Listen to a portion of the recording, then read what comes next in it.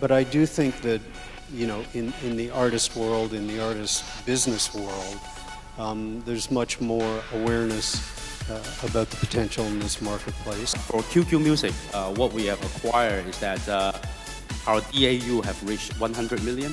Wow. And then our, our MAU, the monthly active users, we have reached about 400 million. So Wow. our coverage is about 55% uh, of the entire market. So I think the sports now is really the time to come to China. Give me that kiss. Give me that